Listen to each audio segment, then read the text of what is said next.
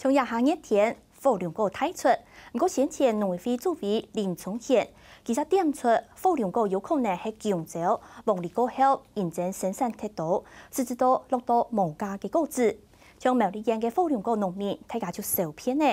尤其一两日咧，才开始来摘火龙果嘅。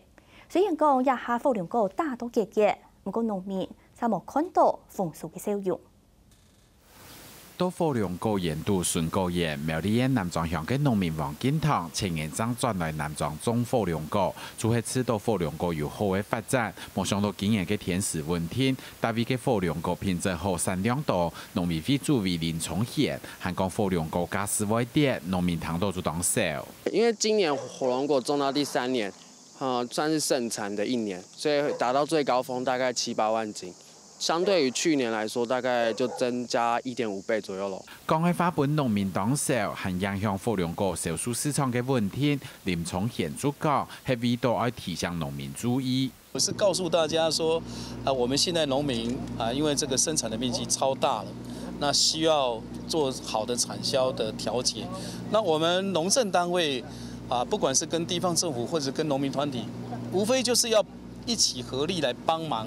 这个农民，哦，苗栗县政府讲，苗栗县火龙果全园嘅面积五十七公顷，总产量一千两百八十六公吨，占全国总产量比例某一个。但是喺农民七价买，直接买本消费者，小部分就买本中盘商。故所建议农民同品质顾后来。南庄乡农会主讲，政府喺做地的农产总量度加市外跌，主要来调整市场嘅存业货，无阻碍另外迁出路，抢喺斧头来做果干，无加市场大，本农民了钱。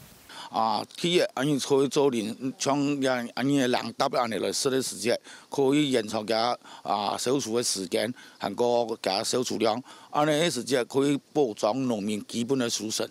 嗯，希望农村那边呢一定啊，二层想出办法，莫失策的让挖本高了哈。那我也希望我们的呃农民做好那个品牌，然后去保持就是品质安全这个管控，那尽量减少因为一个品质不好或是怎样造成我们价格崩跌的现象产生。是唔过来看台中董事果菜市场火龙果嘅批发价是，去年八月初一一公斤还有三十六点四元，今年七月初三一公斤存到十七点四元，价是就存对半。政府一下再来讲爱天数，农民主讲已经停慢呢。下个新闻总之面苗栗报道。